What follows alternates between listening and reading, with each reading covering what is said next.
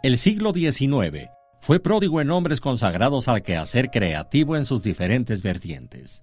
El arte pictórico es muestra de ello con corrientes estéticas como el impresionismo, en el cual destacaron artistas como Monet y Pierre-Auguste Renoir. Renoir, desde temprana edad, mostró interés por la plástica. Creció en un hogar donde la escasez económica era la constante.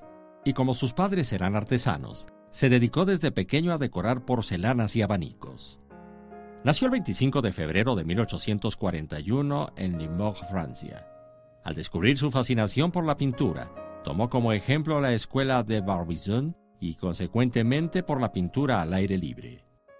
En 1873 terminó de pintar Jinetes en el bosque de Bolonia, obra que fue rechazada para ser exhibida en el Salón Oficial, pero encontró cabida en la muestra plástica de los llamados rechazados.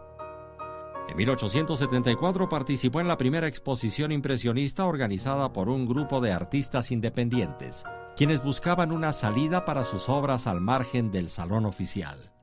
Uno de los participantes, Claude Monet, expuso un cuadro que tenía por título Impresión, Amanecer.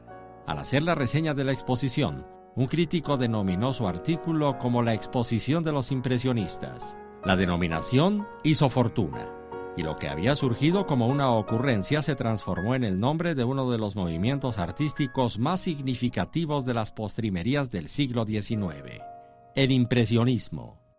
Esta corriente se caracteriza por abordar temas de la vida cotidiana pero con la característica de colores brillantes, trabajos luminosos en los que casi no hay cabida para tonos oscuros en antítesis con los sepias consagrados por la tradición.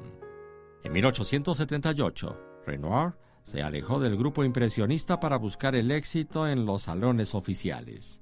El abandono de los principios impresionistas se acentuó cuando a partir de 1881, numerosos viajes despiertan su admiración por cierta idea clásica de lo bello.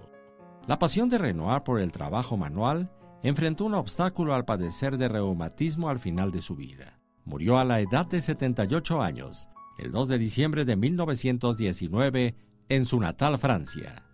Sus obras se exhiben en afamados museos del mundo como Londres, París, Nueva York y Chicago, entre muchos otros.